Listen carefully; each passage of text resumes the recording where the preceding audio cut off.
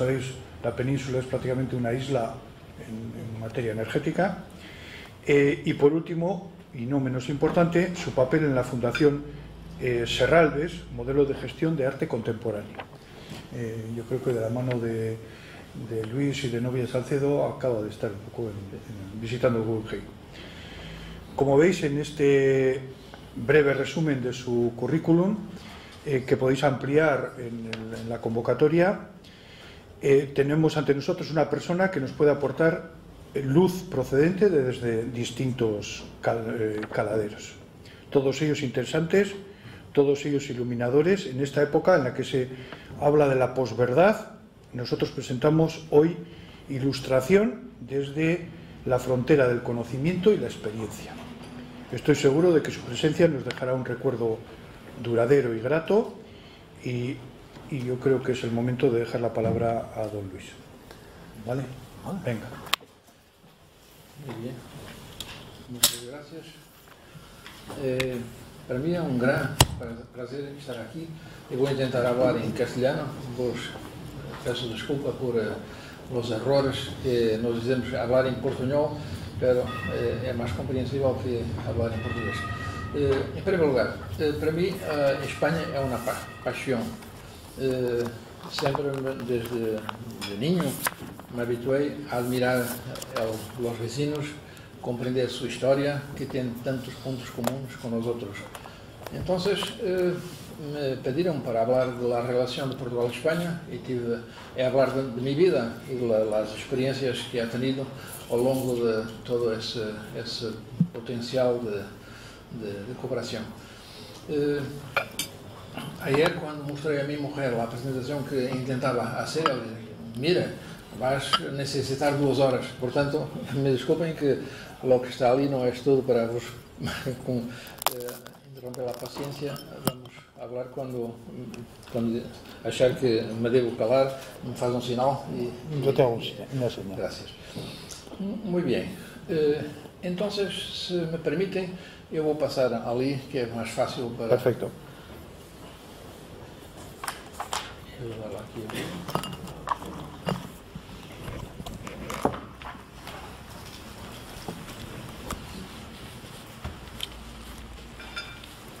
de las relaciones de Portugal y España, yo podría decir que es, eh,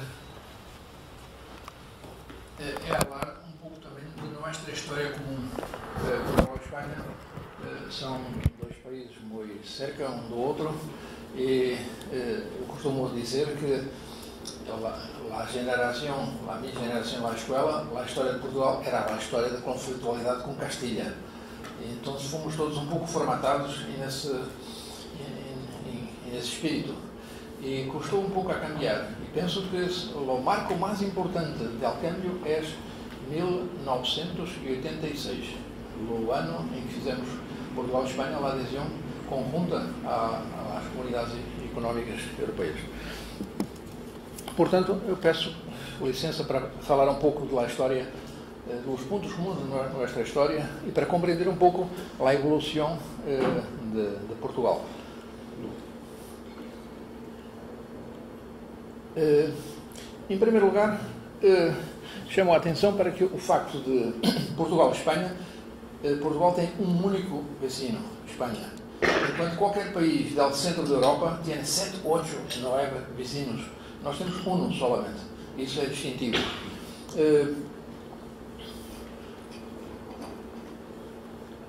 Estamos muito mais cerca do que pode parecer. Como maneira de ser, como atitude, isso por vezes não nos faz esquecer. No entanto, lá, lá a nossa geografia fronteiriça é uma geografia de 1232 quilómetros. É lá a fronteira mais antiga, mais larga eh, e mais estável eh, na Europa. E, no entanto, tivemos muitos pequenos conflitos ao longo da nossa história. Eh, o importante quando fazemos comparações entre Portugal e Espanha, a população, população será 1 para 4, em território 1 para 5, em termos de produto interno bruto económico 1 para 6, pero em cultura, em eh, maneira de ser, é 1 para 1. Somos dois países, nos respeitamos, temos muito a explorar em comum. É um ponto importante. Eh, eu diria que o mais importante é compreender que 1297 foi o Tratado de Alcanice, estabilizamos a fronteira como é hoje, salvo pequenas uh, diferenças, Olivença, São Feliz de los Gallegos, em de Cidade Rodrigo, senão é a mesma fronteira que ha sido definida em Alcanices, cerca de Zamora, em, ao fim do século XIII. Os, os momentos mais importantes da história de Portugal, eu diria que a maior glória é a história de Portugal, é a, movida por o Oriente. Portugal chega a Japão em século XV. A primeira gramática de língua japonesa foi escrita em português, por um jesuíta, naturalmente, no princípio do século XVII.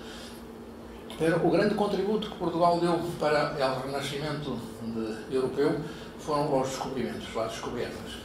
É uma atitude muito interessante porque nesse momento nos preparamos, nos preparamos bem.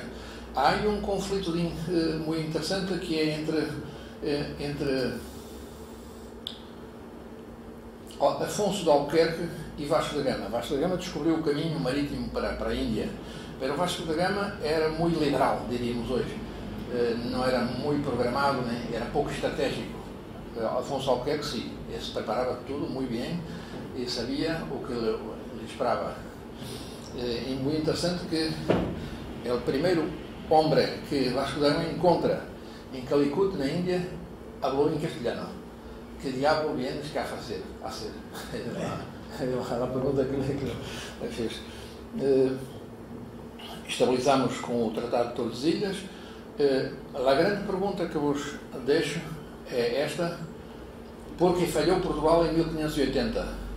E as explicações são por excesso de ambição, por déficit de organização, por desequilíbrio demográfico e territorial, porventura o mais importante.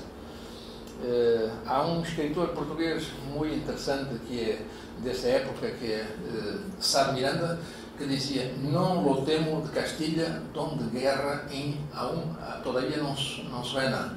Temo de Lisboa, que ao olor de leste canela, o reino se despovoa. É importante que nós temos solamente nessa época um milhão de habitantes. E estávamos presentes em China, Japão, eh, eh, América do Sul, e não havia gente para tanta ambição.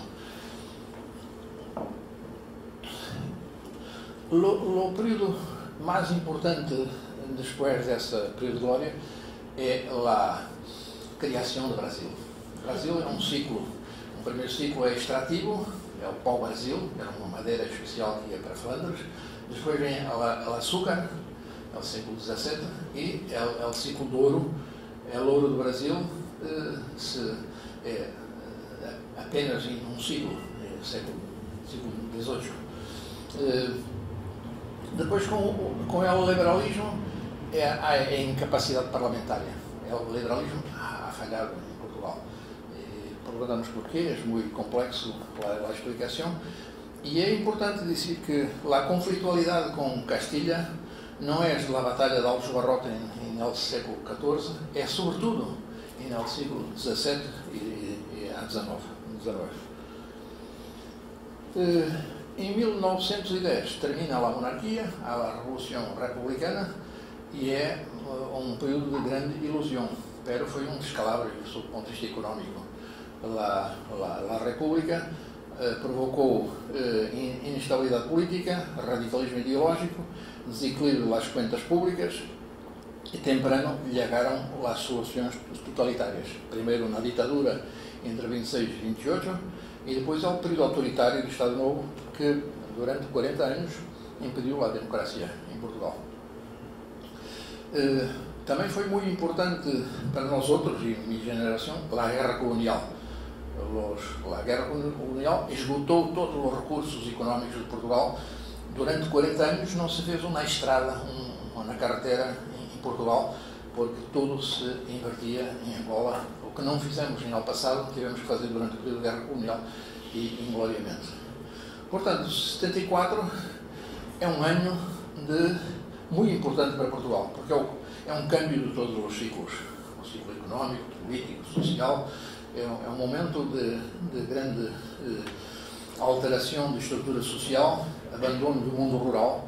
Portugal tinha 50% dos seus ativos em 1950 em atividade rural, não havia indústria significativa. Então foi um câmbio radical e eh, foi muito importante que a imigração hacia a Europa, Paris chegou a ter um milhão de portugueses em los anos 60, final dos anos 60, se havia falar português com facilidade, e eh, ha ocorrido a mobilidade dos jovens.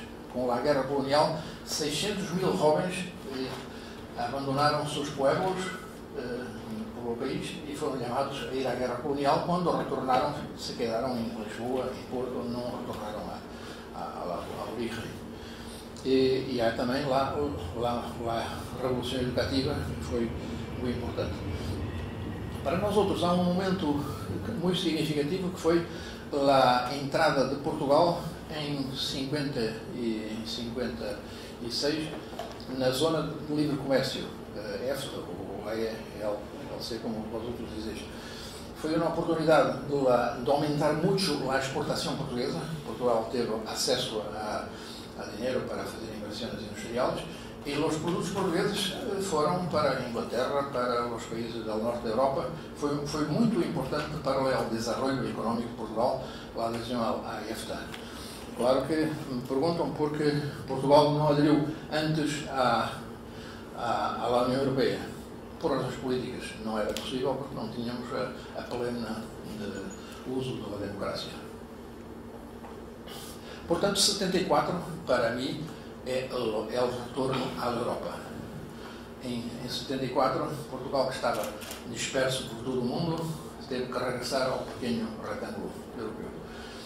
Pero o câmbio mais importante terá sido em eh, apenas em 86 e esse é o momento do redescobrimento de Espanha. É o momento mais importante que eu vou demonstrar a seguir. Eh, eu gostaria de dizer uma, uma frase de um escritor português muito importante ao fim do século XIX, essa de Queiroz, que dizia: Espanha, lo que há que atravessar para chegar à Europa. Havia esse mito, era muito difícil chegar à Europa porque tinha que atravessar de ferrocarril espanhol. A primeira vez que fui a Paris foi de ferrocarril, eh, salindo por Fuente do Nhoro hasta Biarritz.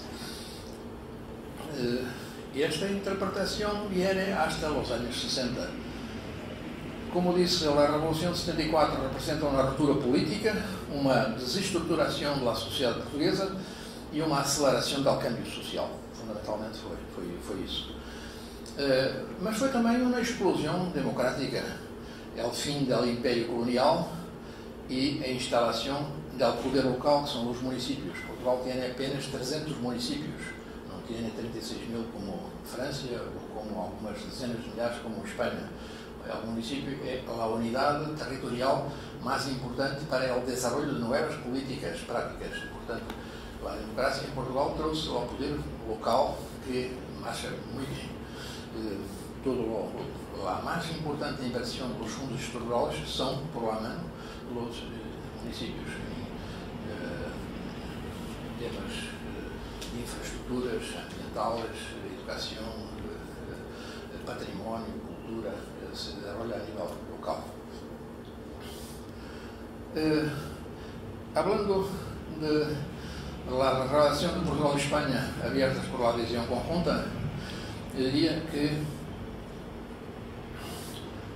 eh, Portugal, eh, después de, de 74, teve que fazer um ajuste à Europa muito mais rápido que os outros países europeus depois da Segunda Guerra Mundial. Tudo se foi acelerado. La, la adesão conjunta representa uma nova realidade geográfica e política. Eh, Europa, depois da entrada de Espanha e Portugal, se queda mais mediterrânica. São duas novas línguas universais que introduzem no panorama, eh, no panorama europeu. Eh, foi um bom momento e, e também penso que nossa visão do mundo eh, diferente também foi um bom eh, contributo para que a Europa fosse um pouco distinta, porque a entrada de Portugal e Espanha não é similar à entrada da Grécia ou à entrada de Dinamarca, os, os, os aderentes anteriores. Uh, uh, poucos hão realizado eh, lo que isto significa de oportunidade a nível nacional, mas também a nível regional e local. Eu chamo a atenção para a alteração radical do comércio bilateral entre Portugal e Espanha, como vou mostrar. Depois foi lá a descoberta da fronteira, lá oportunidades pela fronteira. Falei dos 1.200 quilómetros de fronteira. Em los primeiros 100, entre Norte de Portugal e Galícia, há mais gente de um lado e do outro da fronteira do que nos outros 90% do território. Significa que a fronteira é um território vazio, vazio sem gente, de baixa, baixa densidade económica e social. Pero eh, nós outros, com os galegos, aproveitamos bem. Dom Manuel Fraga me dizia que a relação com Portugal é uma oportunidade de internacionalizar as pymes gallegas, que têm pouca visão internacional nesse momento, e, e portanto houve um forte impacto nas regiões fronteiriças e eh, também foi importante o papel eh, da cooperação e dos agentes regionais. Há 20 anos eu venia aqui, eu durante 14 anos fui eh, presidente da Comissão de Coordenação Regional, que é a estrutura regional que existe em Portugal, e tínhamos relações com várias regiões francesas e com o País Vasco. Estivemos aqui várias vezes quando a Aquitânia e o País Vasco criaram a Associação do Sul da Europa Atlântico. E José António Ardanza nos invitou a estar aqui a fazer uma, uma juntança e discutimos todos esses temas. Depois o, o invitei a estar em Porto e foi muito, muito interessante o que fomos construindo em conjunto. Porque dizia-me ele que eh, eh, a produção industrial portuguesa, que está ainda ao norte de Portugal, a caminho da Europa, passar por aqui. Isto é, esta ruta passa por País Vasco. E daí a importância de uh, consolidar uh, uma relação territorial entre os Naturalmente que é muito mais fácil uh, estabelecer uma relação com os gallegos e León, que são vizinhos físicos, do que com vizinhos um pouco mais apartados. Pero foi importante esse momento. A relação comercial externa de Portugal. Em primeiro lugar, eh, mostrar-vos aqui dois gráficos muito interessantes que revelam, é um estudo lá, lá da Universidade de Porto, sobre a evolução das cotas dos clientes de exportação portuguesa, em, desde a implantação da República até 2000. Podemos ver que eh, a importância das ex-colónias portuguesas que depois na Revolução se esmorece a importância do Reino Unido antes das guerras e que depois também se queda cada vez menos importante. É o crescimento da França, mas sobretudo o crescimento com a Espanha. A Espanha não tinha relações anteriores e está muito bem marcada. Também se nota o efeito das duas guerras mundiais. Em contrário, a evolução das cotas de provedores da importação portuguesa. Também o mesmo ocorre com, com a Espanha, crescendo muito isto cresceu, quando não existia antes, uh, na redução da importância do Reino Unido e ao desaparecimento da relação comercial com as antigas colónias portuguesas. Solamente para mostrar que, comparando entre 80, 80, 86 e 2000, eh, a importação portuguesa em relação ao Reino Unido, mais Alemanha, mais França, passou de 27 a 30 a exportação de 40 a 42, enquanto a Espanha passou de 7 a 25 e de 4 a 18. Que podemos dizer, desde lá, diziam, a relação económica ha evolucionado hacia uma situação de interdependência e integração. Eh, comércio internacional ha crescido muito. Eh, consolidamos o mercado ibérico como novo mercado natural. Isso é importante o mercado natural português é tão pequeno que não faz sentido. Então, podíamos dizer, vamos passar para a globalização para o mundo, pero entre Portugal e a Europa, a Espanha e o mercado ibérico tem consistência. E sempre dissemos que o importante é não pensar em mercado natural português, pero em mercado ibérico, porque há muitas capacidades de relação. E, e penso que é menos conhecido a importância do mercado ibérico para a Espanha. Em 2000, eu fui ministro de Economia em 2001, é o primeiro-ministro António Guterres, que está secretário-geral das Nações Unidas, estabeleceu como prioridade estratégica para Portugal, Espanha, Espanha, Espanha. afirmava isso de uma forma muito enfática. Então fizemos várias iniciativas chamadas Perfil Portugal em Madrid, levando lá os símbolos da, da, de Portugal, a cultura, Saramago, os grandes pensadores portugueses para discutir com a Espanha, apresentando as, as potencialidades. Em 2001, quando fui Ministro de Economia, estabeleci com o Ministro de Economia de Espanha, na altura era o Rodrigo Rato, o mercado ibérico de energia elétrica. Pensamos ter sido um bom exemplo do que poderíamos fazer em conjunto. O mercado ibérico significa entre Portugal e Espanha fazer o mesmo que os países escandinavos haviam estabelecido, ou seja, um marco com eh, o, nível político, o nível técnico e o nível regulatório numa concertação eh, muito útil para as, as empresas. Eh, não, é, não, é, algo que se hace eh, instantaneamente, mas se vai construindo e foi importante porque todos os empresários hoje têm lá as mesmas condições de acesso ao mercado e há uma convergência com o futuro mercado da União Europeia. Mostramos aqui dados de destino, agora olhando a economia pelo lado de Espanha. Eh, Espanha, como destino da exportação de Espanha, Portugal viene em terceiro lugar. Depois de França, Alemanha, vem Portugal. Ou seja, Portugal tem uma, uma, uma cota de 8,2 quando os, os outros mais importantes prefazem 156 eh, bilhões de, de, de, dólares, Portugal tem 21,9% desses 156 bilhões de dólares.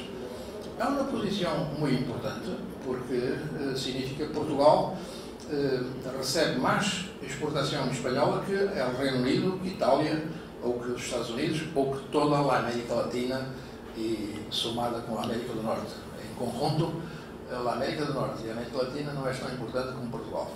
Essa é, é, um, uma figura que normalmente não é conhecida.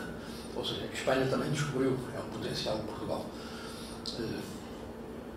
Do lado contrário, origem, origem da importação de Espanha para o mundo, temos Portugal em, em, em posição 8, significa 12,2 milhões poderá dizer há um grande desequilíbrio, sim, há um grande desequilíbrio.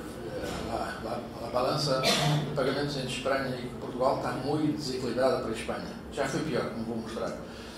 Eh, como sair disto, aumentar mais nuestras exportações para a Espanha, quando já estamos tão dependentes, eh, o problema é encarar o mercado ibérico como um todo e não pensar mais nisso. Pero, eh, vos direi que mesmo, mesmo assim, Portugal vende para a Espanha 12,2 bilhões de, de, de, dólares ao ano, eh, tanto como Holanda, quase tanto como os Estados Unidos, eh, apenas metade da China. A China é, é um, um, eh, um, novo entrante neste, sistema.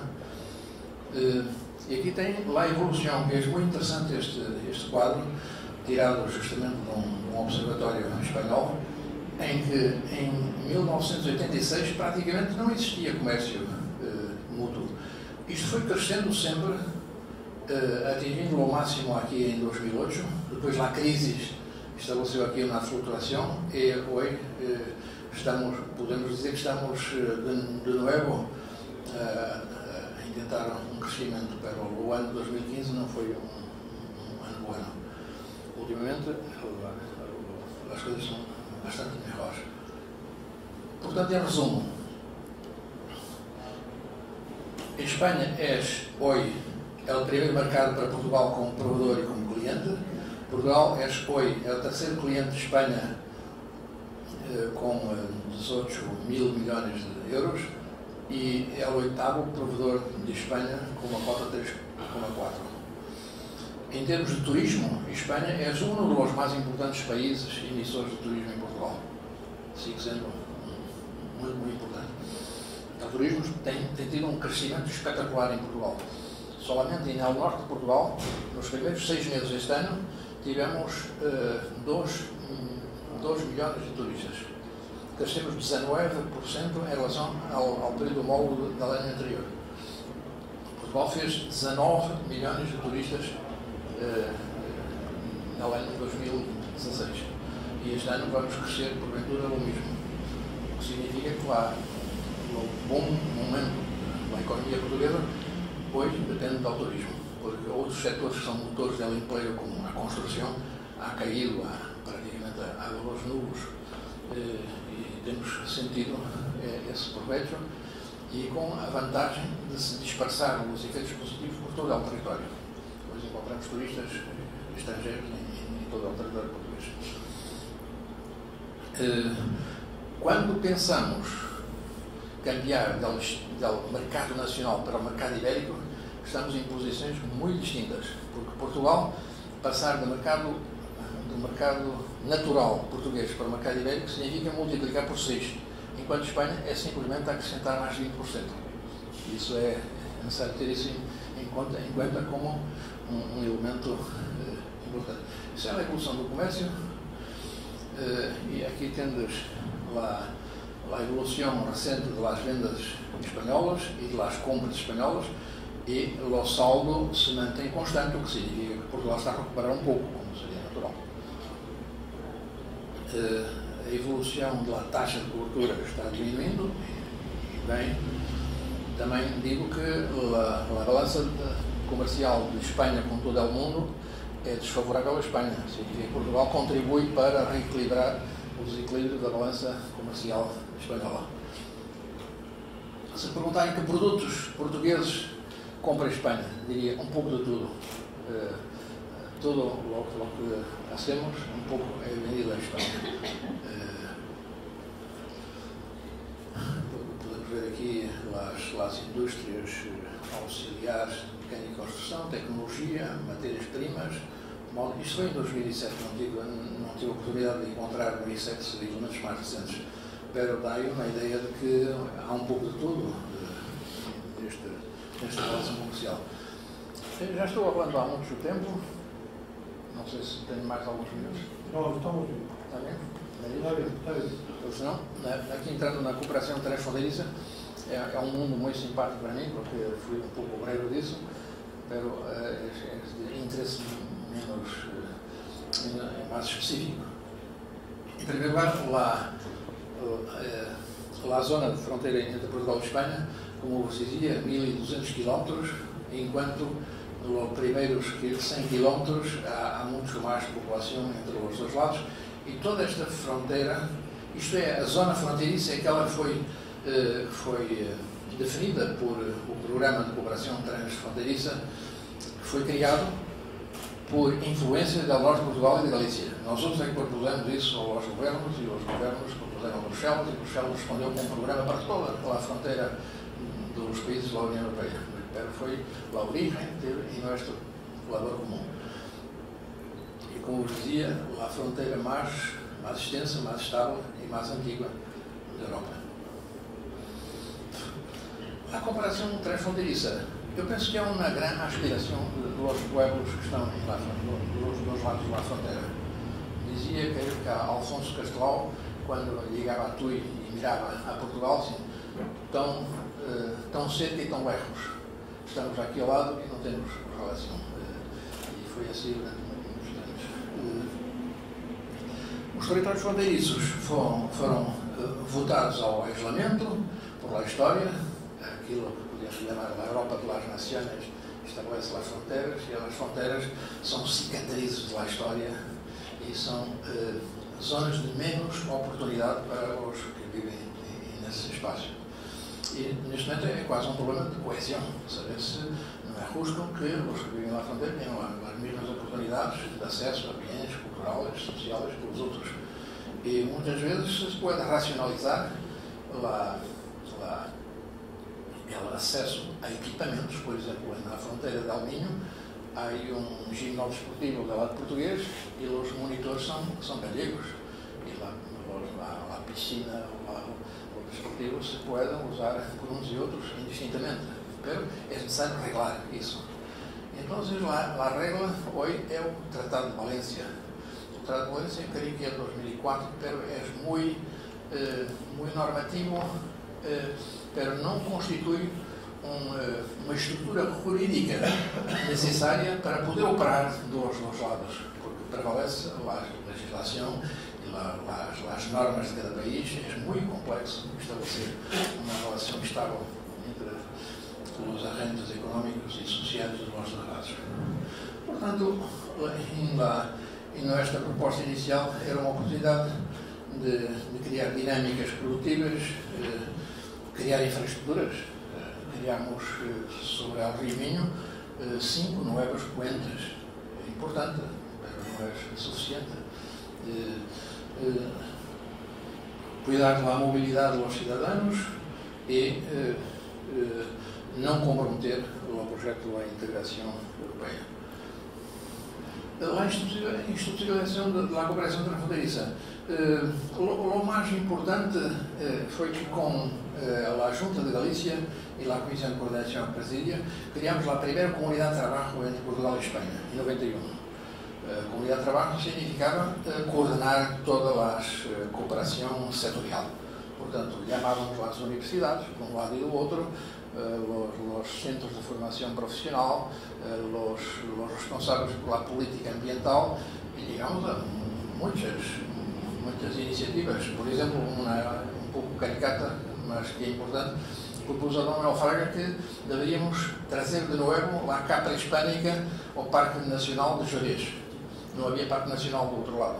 Ele criou um Parque Nacional em Jerez. Então importámos a, a capa hispânica de lá Sierra de Gredos. E foi um. E Dom Manuel nos dizia: tem relevância política. E lá, porque antes, no tempo de Franco e de Salazar, houve uma tentativa portuguesa de trazer lá, lá as capas hispânicas de Gredos e não, nunca resultou porque era um recurso singético espanhol que não se podia disponibilizar. Portanto, pequenas coisas. Mas uh, também muito lá da exposição do Rio muito trabalho com os empresários uh, e houve um câmbio significativo. Em 92 também os 12 principais cidades de Galícia e de Portugal criaram o Arco Atlântico. Uh, Eixo Atlântico, como aqui foi referido, foi uma iniciativa criada por o presidente da região de Valdoar, Olivier Guichard, eh, que criou, depois da queda do muro, criou a Associação das Regiões Europeias do Arco Atlântico. E nesse momento, os que não fiz parte, eu fui vice-presidente dessa comissão. O Olivier Guichard tinha sido ministro de De Gaulle durante 15 anos, era um nome, era um político eh, de grande estatura criou justamente essa estrutura para sensibilizar Bruxelas a conceber um programa comunitário para o Atlântico, o que nunca resultou inteiramente. Criou um programa com pouco dinheiro para ações imateriais apenas, mas se fez, se fez algum, algum interessante.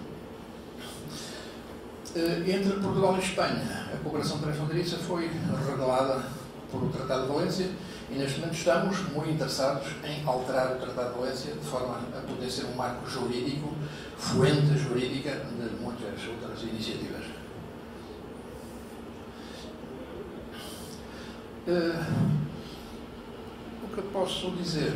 Que houve um crescimento de entendimento entre a Junta de Galícia e o Norte de Portugal, uh, que sempre, e no princípio, aumenta o conhecimento mútuo, aproximação de instituições, relação entre agentes económicos e, eh, e também conservação entre as, as administrações territoriais. O investimento português em Espanha, desagregado por regiões fronteiriças, claramente se vê que Galícia domina neste programa, neste período de anos, quando havia dados. Uh, o programa Interreg é um programa que sigue hoje uh, em curso. Uh, teve o seu início, mesmo no início de 86. Uh, lá a comunidade de trabalho, de trabalho resulta e integra-se no espírito do Conselho da Europa. tivemos primeiro jornadas técnicas para definir como consertar posições, depois tivemos projetos comuns e me recordo de Michel Barnier, o comissário europeu que hoje está negociando o Brexit, me disse um dia em Porto que nosso plano de cooperação transfronteiriça com Galícia era um exemplo na União Europeia. Ouvir, ouvir isso, mas é uma experiência que nós orgulhamos e que siga. Uh, os, os setores que selecionamos, áreas temáticas, cooperação empresarial, universitária, tecnológica, cultura e comunicação social, experiência local, uh, de cooperação, agricultura e formação profissional foram os primeiros temas que selecionamos. Uh, o Interreg, como expliquei, ha nascido em 86 com uma proposta comum entre Galícia e Norte de Portugal, depois foi retenida pelos primeiros ministros dos dois países, Filipe González e Cavaco Silva, fizeram uma proposta a Bruxelas, Bruxelas reagiu com o programa Interreg, já vai na quinta versão, e se, se fez muito trabalho, trabalho. A inversão total induzida ha sido, em 30 anos, de 2.400 milhões de euros. Portugal seria um terço, Espanha dois terços, porque havia sempre essa, essa, essa delimitação. E numa primeira fase fomos, fizemos muitas carteiras de integração e articulação, muito desenvolvimento rural, eh, turismo, eh, recuperação do património turístico, conservação de recursos hídricos e saneamento, trabalhos. Depois evoluiu mais para uh, inversões de natureza mais imaterial. Pero ainda hoje há uh, muito trabalho em, investigação e desenvolvimento, uh, trabalho com as PIMES, uh, mesmo procura de reduzir os efeitos negativos das alterações climáticas, portanto, em temas muito mais, mais sutis. Todavia, a zona de fronteira mantém indicadores de baixa densidade económica e social que nos preocupa e temos que alterar.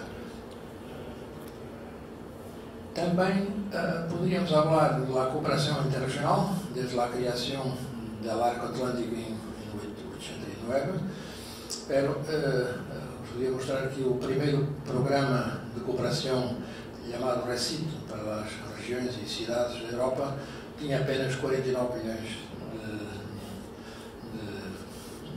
de, de, de na altura ainda não havia o euro, eh, mas eh, mesmo assim eh, nós outros tivemos em 10 das 37 redes de cooperação interregional que se estabeleceram na altura. O futuro da cooperação transfronteiriça. Temos que pensar numa nova geração de políticas muito mais cercana aos interesses dos cidadãos é, tem que haver uma mudança radical e, sobretudo, eh, resolver as dificuldades burocráticas que ainda subsistem, porque cada, cada instituição, cada gente de, de zona fronteiriça tem que reportar a Lisboa e a, e a Madrid para resolver os problemas mais pequenos e há muitos sem solução. Eh, e assim vamos seguindo. Como, como a ser continuar procedendo, respeitar a especificidade de cada região, é muito importante, atrair ao processo de cooperação aos atores regionais mais determinantes em cada setor automático, saber resistir à excessiva normalização, rever ao Tratado de Valência, estamos trabalhando nisso. Posso dizer que é o último cumbre de chefes de Estado e primeiros-ministros que é ocorrido em Portugal, a cooperação transfronteiriça foi o tema mais importante e nos garantizaram que a revisão do Tratado de Valência iria ocorrer. Eh, terminaria dizendo que eh, a competitividade territorial que é decisiva tem quatro fatores mais importantes. O primeiro são as infraestruturas e os equipamentos. Depois, a capacidade dos recursos humanos, quanto mais capacitada, sei lá, a renda melhor resulta eh, reduzir os, o grado de perifericidade, que é o terceiro fator, significa estão isolados, é necessário polos de comunicação com o mundo. E, finalmente, a inovação. Isso dizia a União Europeia, que esses quatro fatores, mirando esses quatro fatores, podemos dizer, nós outros, entre Espanha e Portugal, estamos bem nos três primeiros. O decisivo é a inovação. A inovação pode transformar radicalmente este panorama estamos muito eh, interessados em mobilizar as universidades com toda a sua capacidade de pensar e de agir para cambiar a, a, a situação de, de, de inigualdade que hoje subsiste. E pronto, peço desculpa. Podemos depois no, no debate falar um pouco do impacto que isto tudo pode ter numa nova perspectiva da Europa. Thank you.